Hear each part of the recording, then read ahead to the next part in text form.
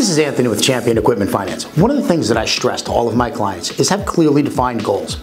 How your new piece of equipment, construction equipment, truck, or trailer is going to benefit you and your business.